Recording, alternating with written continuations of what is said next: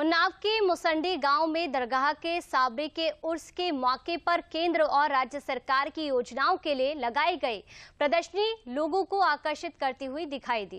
कितनी योजनाएँ चलाई जा रही हैं, उसको भी उर्स में आए लोगों ने देखा। इन योजनाओं का फ़ायदा कैसे मिलेगा, इसको लेकर लोगों ने जानकारी भी ली।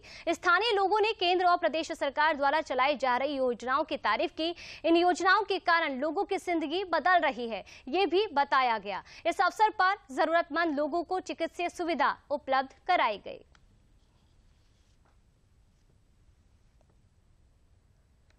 योगी सरकार का बहुत गुजार हूँ। जिसने एक जिन्होंने एक प्रदर्शनी लगा के गवर्नमेंट के अवेयरनेस के लिए एक जो अभी प्रदर्शनी लगी है, आपने देखा होगा उसका उद्घाटन जो है, यहाँ के सज्जाद नसीन सूफी सैयद मोहम्मद जकरिया ने किया है। उनके सज्जाद नसीन है सूफी सैयद मोहम्मद जुनेद इकबाल साहब ने अभी उद्घाटन किया है, जिससे अवेयरनेस के बहुत ज़्यादा प्रोग्राम होते हैं। यहाँ पे आरबीआई आता है सेंट्रल गवर्नमेंट की भी एग्जीबिशन लगती है और स्टेट के भी लगते हैं।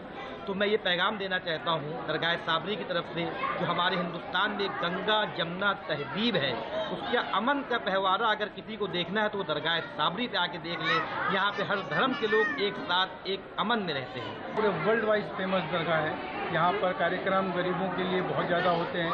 इसमें सारे मिनिस्टर सारे सूबे के लोग प्राइम मिनिस्टर आरटीआई प्रोग्राम बहुत सारे प्रोग्राम होते हैं गवर्नमेंट की तरफ़ से, जो लोगों में अवेयरनेस क्रिएट करते हैं। बेसिकली एजुकेशन पे मेडिकल पे हेल्थ पे, तमाम चीज़ों में अवेयरनेस क्रिएट करते हैं प्लस उनकी मदद करते हैं।